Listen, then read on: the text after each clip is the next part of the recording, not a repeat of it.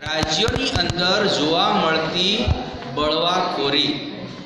આ બળવાખોરી સંગઠનો ભારતની અંદર કયા કયા રાજ્યોની અંદર કયું સંગઠન કે સક્રિય હિંસાત્મક પ્રવૃત્તિઓ કરે છે અને એના નામ શું અને કયા રાજ્ય સાથે જોડાયેલ છે બરાબર આપણે યાદ રાખીશું કારણ કે જોડકાની અંદર એક બાજુ રાજ્ય હોય છે અને બીજી બાજુ એની સમાપક છે, એનું નામ હોય છે. તો કયું જૂથ કયા રાજ્યમાં સક્રિય છે, એની અંદર આપણે ટૂંકમાં લઈએ તો નાગાલેન્ડ રાજ્યની અંદર એન એસ સી એન એટલે કે national socialist council of Nagaland. આ આખું નામ એનું. મણિપુરની અંદર બે આવા બળવાખોરી જૂથો સંગઠ સક્રિય ભૂમિકા ભજવી રહ્યા છે, પ્રવૃત્તિઓ કરી રહ્યા છે. જેની અંદર કે એન એફ એટલે કે કુકી નેશનલ ફ્રન્ટ. અને બીજું છે કે એન એ, એટલે કુકી નેશનલ આર્મી. આ બે બળવાખોરો જૂથ છે એ મણિપુરની અંદર ભય, નાશ અને હિંસાત્મક પ્રવૃત્તિઓ આદરે છે. ત્યાર પછી આવે છે ત્રિપુરા રાજ્ય, જેની અંદર N L F T, national liberation front of Tripura. A T T F.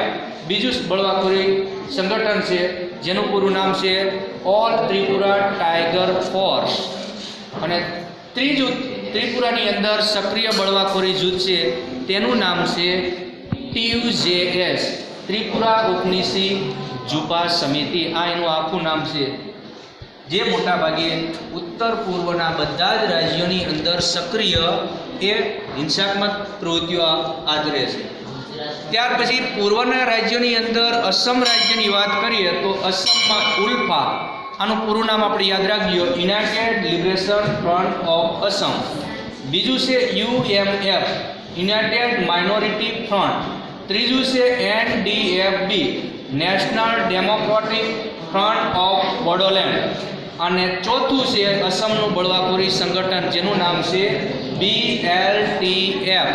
જેનું પૂરું નામ છે બોડોલેન્ડ લિબરેશન ટાઈગર ફોર્સ આ ચારેય બળવાખોરી સંગઠનો અસમ અને આસપાસના રાજ્યોની અંદર સક્રિય હિંસાત્મક પ્રવૃત્તિઓ આદરી અને પોતાના હેતુઓ સિદ્ધ કરવા માટે એ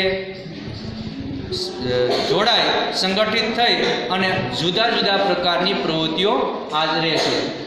આ મોટાભાગના પૂર્વ અને ઉત્તરના રાજ્યો છે, તે બધા જ રાજ્યોની અંદર ફેલાઈ ગયેલી આ સક્રિય, કહી શકાય એવી સંગઠનાત્મક પ્રવૃત્તિઓ છે અને એને ડામવા માટે સરકાર દ્વારા ખૂબ સારા પ્રયત્નો થઈ રહ્યા છે.